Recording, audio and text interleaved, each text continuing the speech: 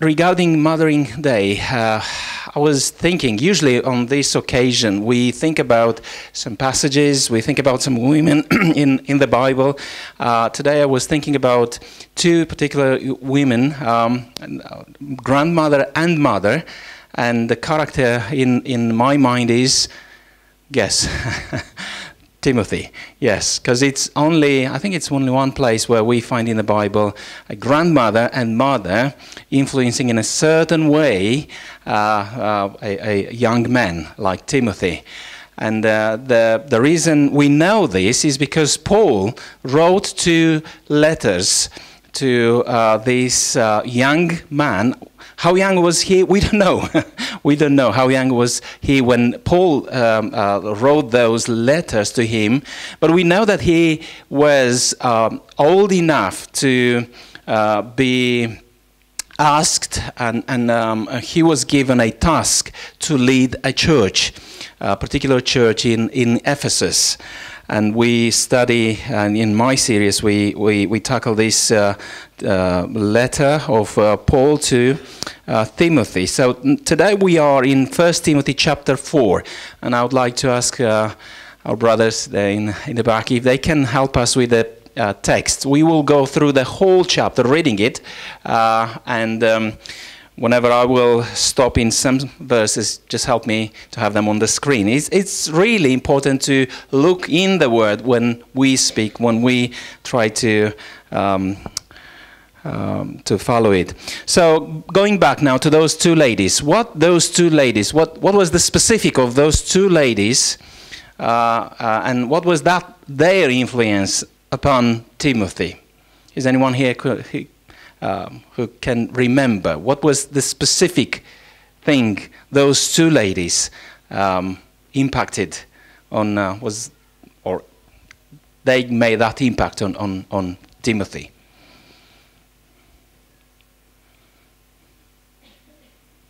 Okay. I think you need some help. So I can help you. Uh, Second Timothy you can find that in 2 Timothy chapter 1, and it's right at the beginning somewhere. 2 Timothy chapter 1. And um, Paul is reminding something. He, he remembers something about, something specific about this Timothy.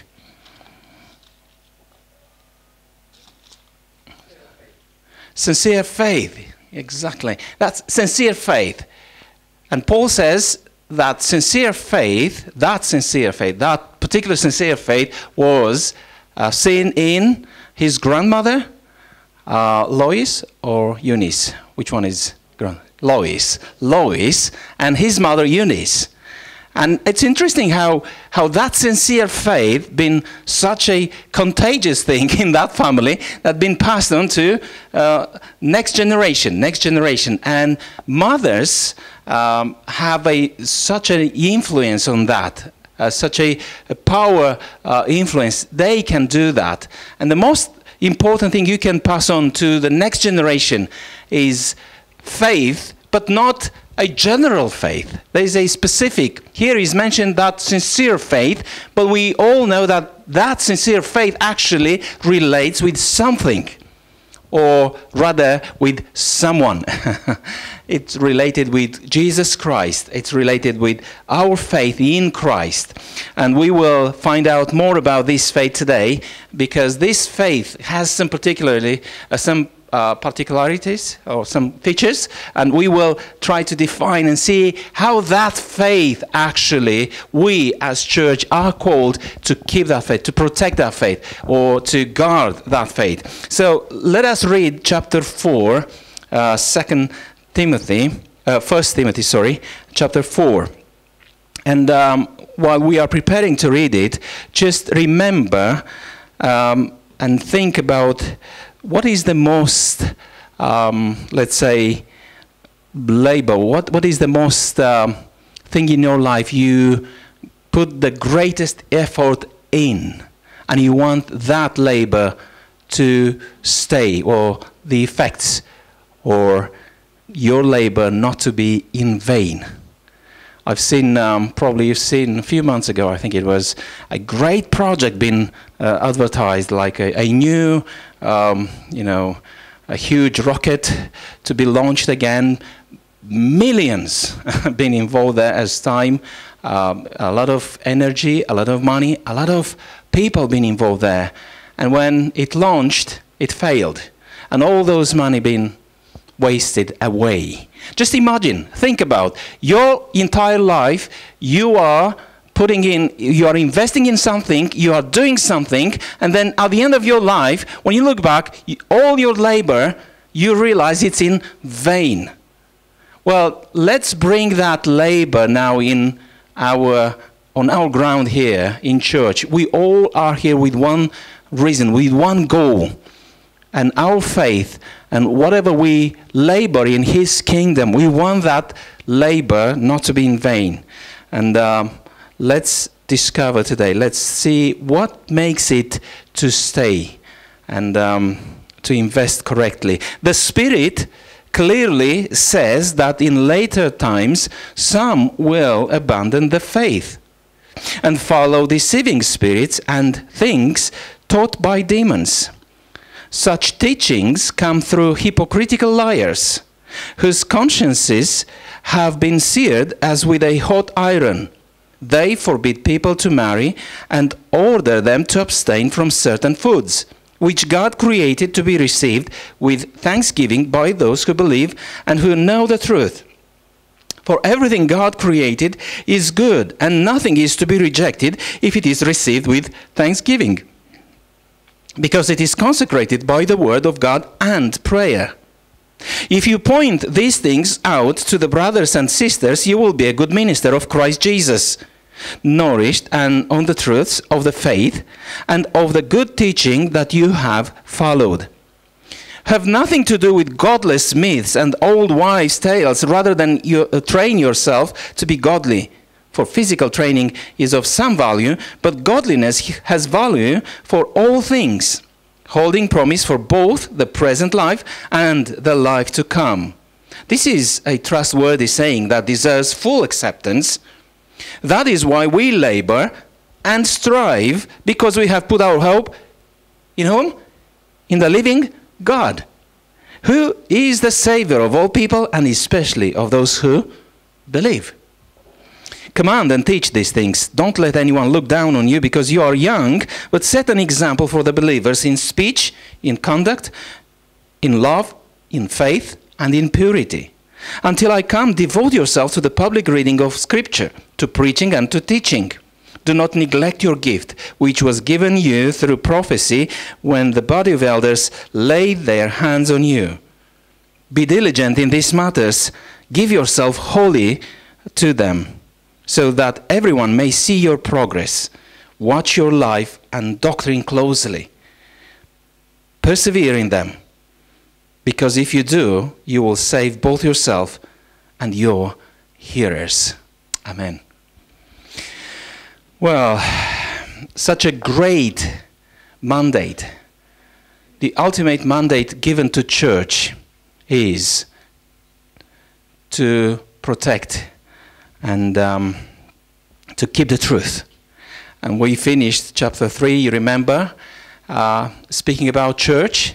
And church is described there not as a clever organization in this world which needs to compete with other organizations and show everybody how wise we are in the Lord. And we do things and we can set examples for any other organization in this, loom, in this world and in, in the way that they can teach or they can uh, look to us and see, well, this is the right way how you can draw people to you.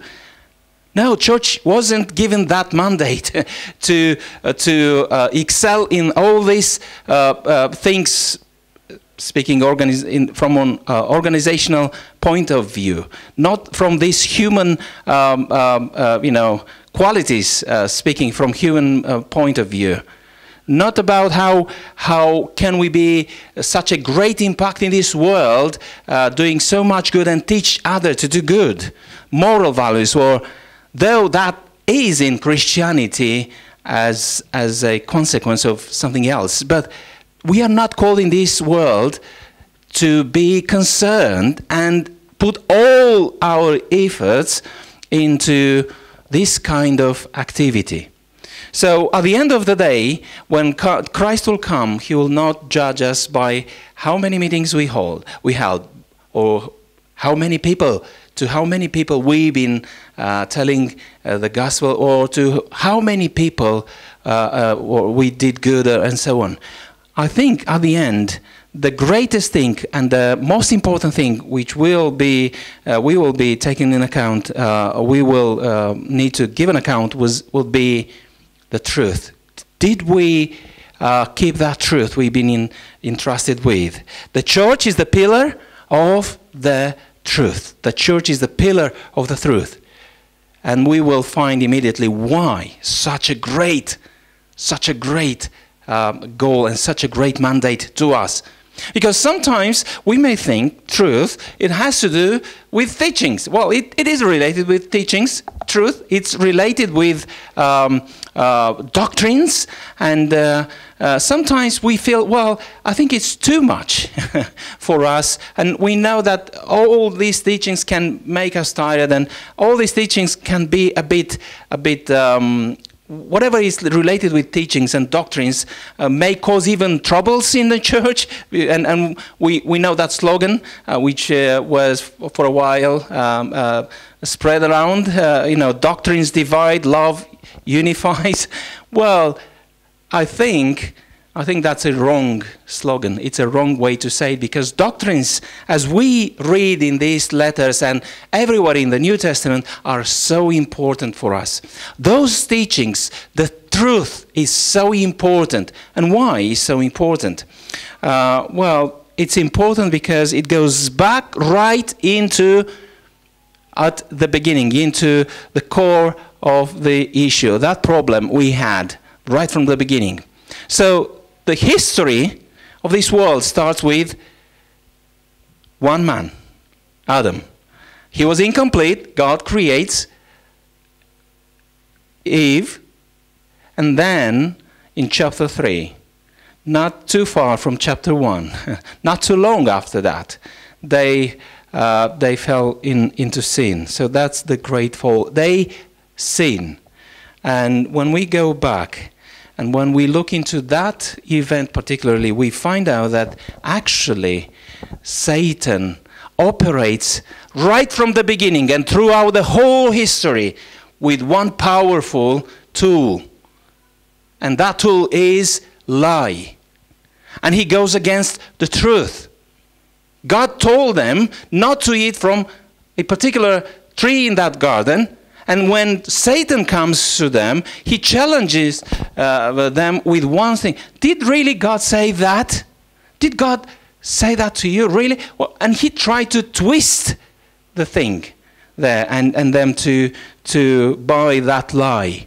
And he was right from the beginning with his abilities to distort the truth and to create lies. Actually, it is like, like this, in, in this way he is presented in, in uh, the Gospel of John, I think, when Jesus says about devil that he is uh, the father of lies.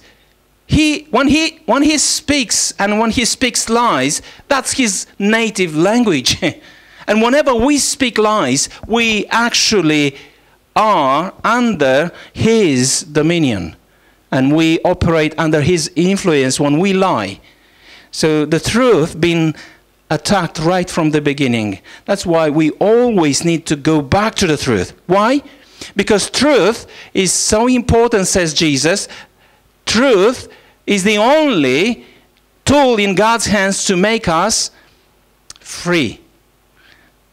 You'll know the truth, and the truth will set you free. Whenever we live in lies, we are enchained. We always are deceived. We will be, at the end, we will be taken to a different path, and we will end up in uh, God, in, in uh, devil's schemes, and um, uh, under God's judgment. The Spirit clearly says that in later times some will abandon the faith. And that's interesting. How? How that would happen. Speaking about that faith, what kind of faith Eunice and Lois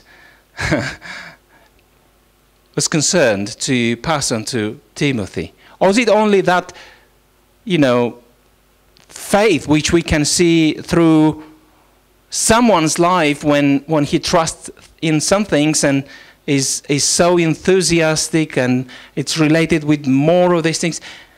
Actually, in, in the passage, we discover that this faith is really tied with the word or the set of teachings, the set, those set of truths they, they, they had to know and keep with them. They abandoned the faith and following deceiving spirits and things taught by demons. That was their problem. Now, in order to think about whatever we do here, whatever we invest in our time in church, and definitely we want to hear at the end of our journey. Come, do you remember what Jesus said? Come to me, good servant, diligent, come to me. And we don't want to hear the opposite. Depart from, from me, all those who are uh, evildoers. Or um, why it's so important and how to do that. Well, let's see how things happened in that time, how things are happening in general, actually. The Spirit clearly says that in later times some will abandon the faith, and this shouldn't surprise us because it's written, and for at least 2,000 years it's there, and we know. It shouldn't surprise us that some people will leave and they will they will look in another place and uh, at the end of the day that you'll see that nothing been genuine in his life or in her life. Why? Because they've been enticed and they followed deceiving spirits so the, the, the first thing we need to learn is to have discernment I, I, I try to find few words just to help us to memorize or to, to follow easily. Uh, and all my words start with D. uh, discernment. When we are deceived, we need to have and to practice and develop and train our discernment. We need to discern which is the goodwill of the Lord. How do we do that? Well, first we need to know how devil operates. And such teachings, says here, come through hypocritical liars. There are people who are, they, hypocrite means to have two faces. That's, that's the origin of Greek word, to have two faces. You know, those actors in, in Greek uh, arena, those who are acting, they usually swap different masks and they put different masks on them. So people who are not genuine, and the faith has to do with a genuinity uh, believing in God and trusting in His words. So, hypocritical liars, they would always come with something. They would say, Yes, but there is something which you miss there, and you have to look into that as well. Something is missing in your life. You need to add this and that. And usually, in this way, it happens that people are deceived and taken away. They, says here, they forbid people to marry um, and order them to abstain from certain foods. And there is a particular teaching which was at that time. Um, but it says that these teachings or this deceiving activity was made by spirits, and they are named here things taught by demons. Demons. Just, just for out of curiosity, when we hear about demons today, in what context we hear about demons. We hear about demons, and, and I think it's so much. Um, we, we, we, we hear teachings and, and all sorts of uh, um, um, encouragements about demons, how to cast demons, how to, and how demonology is that right? I pronounce it correct. Demonology is is taught, and we need to know about it. Is always related with some uh, paranormal things, with, with, things which are, uh, you know, um, out of this common uh, life. We and and we We find demons always in some troubles, in some always. Sometimes we so exaggerate that we see, we can see, and someone can uh, point in everything which goes on in your life. Oh, there must be a demon there at work, and and you know, if you have a, a leg and it hurts, it might be a demon there. Or it, you have a headache or whatever, and and poor demon. let me say, he. All, we always blame him, and I think that's a a bit of, if not much of deceiving here. Because not always and everywhere there are demons. But there might be a deceiving thing to take our attention and to, mm, to be less aware of the great danger which comes from the real problem here from teachings. And we are so focused on and so much concerned about all these types, and we neglect actually the demons are so much into teachings, wrong teachings. And there is a point with that. You know why? Because they want to take you the most powerful tool from your hand to be free. And he wants to take your freedom. And he wants to take people's freedom if they are not taught the truth. And we have to be and to develop that discernment. How do we do that? Well, it's really, uh, it's really important to know the word, and we we spend so much time talking about this, and we have to do that every time, anytime, because word is not only for reading. Word is not only for just ticking the box. I've read the box. I read the chapter today. I've been encouraged. Go. We go now through the day and and uh, when I was a teenager, uh, many times, I think it was kind of influenced because we met uh, like our youth today every Friday, and and um, we were encouraged to read the Bible. We to read the Bible because that will lead us to success. And I was a, at one point reading one chapter a day. Uh, you know, will keep you the the devil away, or how is that? you know, always reading and ticking the box. That was part of my activity, ticking the box. I've read the Bible, I've read the Bible. But here, reading the Bible is not only to tick the box, it's not actually about ticking the box, it's about knowing and trying to understand His Word and to practice, to train your discernment. There is a, such a lack of discernment today in church. And I say that not having in mind our church only. the whole church. It's a lack of discernment. Um, and we need to, to train that, trying to stick with His word. Now, what is that false teaching? Um, they forbid people to marry and order them to abstain from certain foods which God created to be received with thanksgiving by those who believe and who know the truth. For everything God created is good, and nothing is to be rejected if it is received with thanksgiving. And we know this teaching was particularly uh, in those times related with legalism and with Jewish traditions.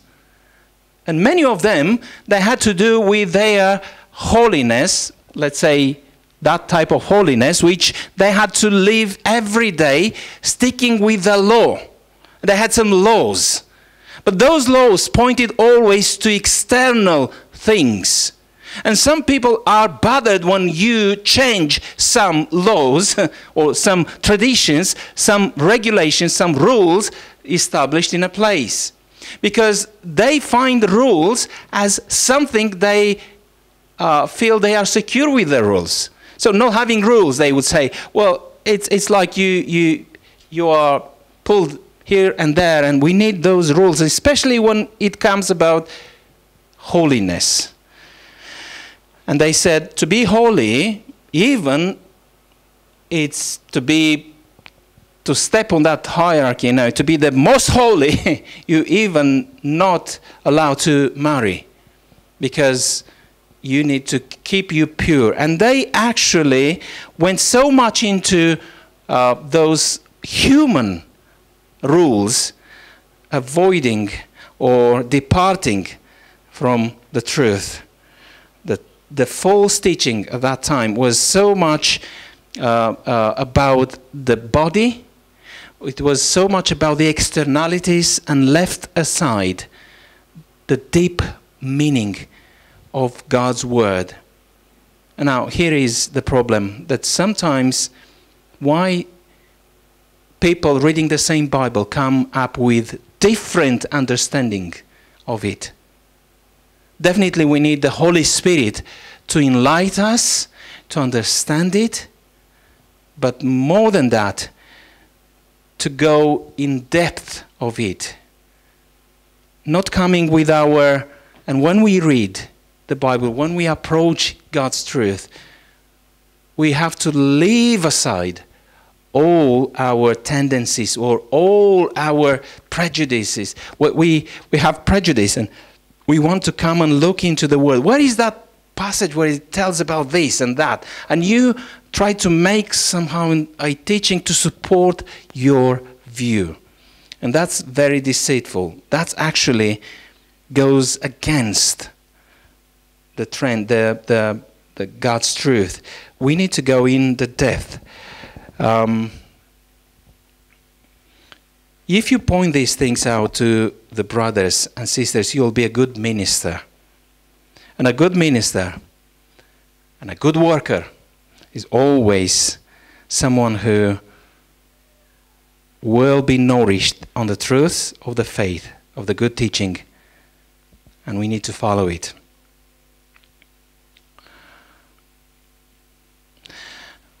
And um, for physical training, says Paul here, is of some value, but godliness has value for all things, holding promise for both the present life and the life to come. So much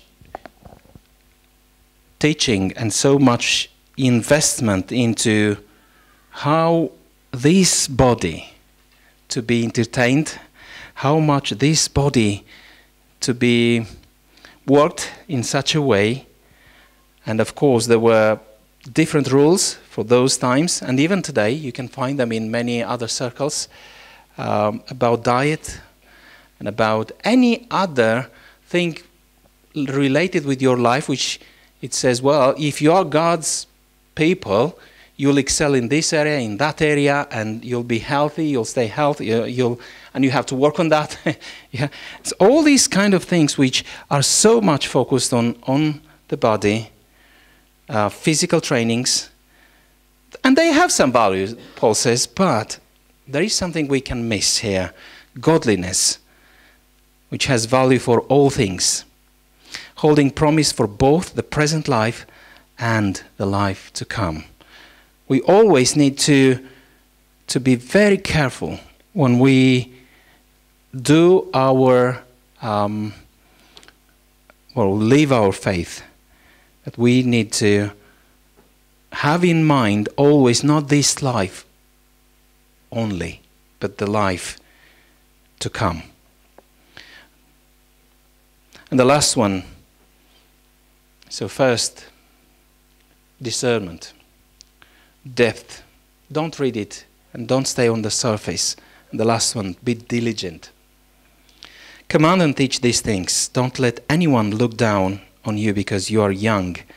But set an example for the believers in speech, conduct, in love, in faith and purity. Until come, until I come, devote yourself to the public reading of Scripture, to preaching and to teaching. Devote yourself. Devote. Um, be diligent. It, it surprises us how many times we, it's like, you know, the first day of the year. We always, how do you call that when you put your resolution, the year, New Year's resolution, and we, we set the great resolution, and, and I think we are like we are compete whose one is the best one. And sometimes we set so such high goals, and and after one week, two weeks, maybe one, two months, and we abandon that. It's not like that in in in God's uh, in, in faith in our journey with God. we have to be diligent with these matters every time. I um, again, it it has to do so much on how we read and how we see all these things, how we see the Bible, how we see God's Word, how we see our journey.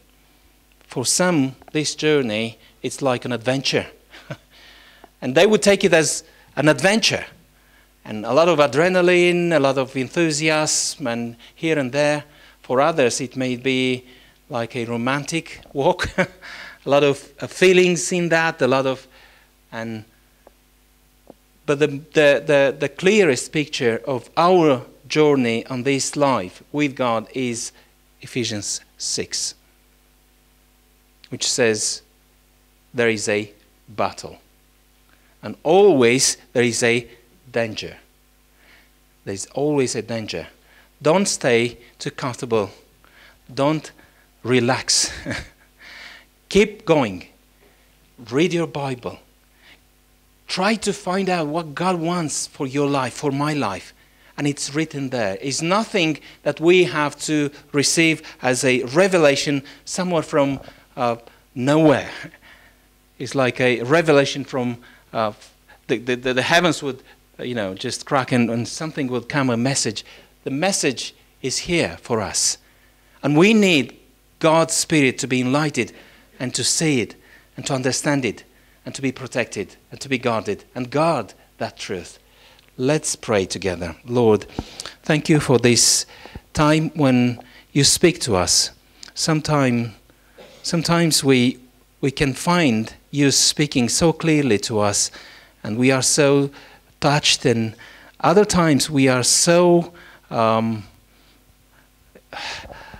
we, we, we have to search and we are uh, to be diligent in reading, and sometimes we feel like nothing special happens in our life, but we continue to trust in you, and we need to trust in you, Lord.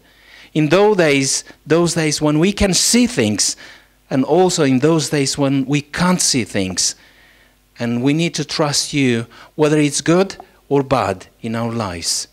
Help us to fill our life, our minds, our hearts with your word, to stick with your word, and your word to be a lamp for our feet.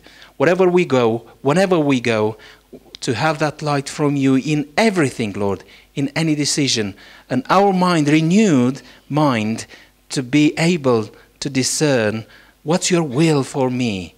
What's your will for us, for this place, for this church?